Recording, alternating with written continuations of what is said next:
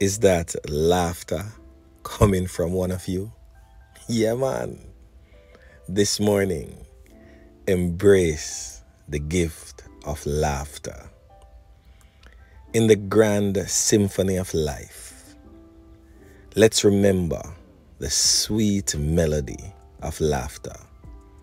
You see, in every situation, even in the most challenging ones, there's a spark of humor waiting to ignite your spirits.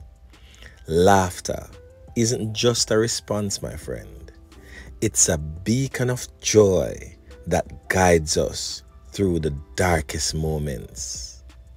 Laughter, you say with a frown on your face. You say this and asking, why is laughter so crucial? Well, because laughter isn't just a sound, it's a state of being. It's an affirmation that life, despite its trials, is an exquisite dance of moments meant to be savored.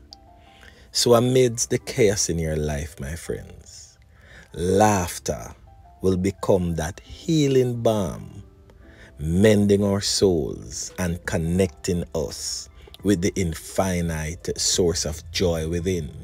So, today, my friends, I urge you to find humor even in the most unexpected places and make laughter your ally on this journey of self care and balance.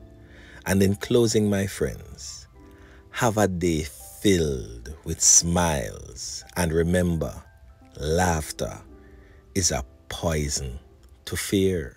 yeah, man, a word to the wise.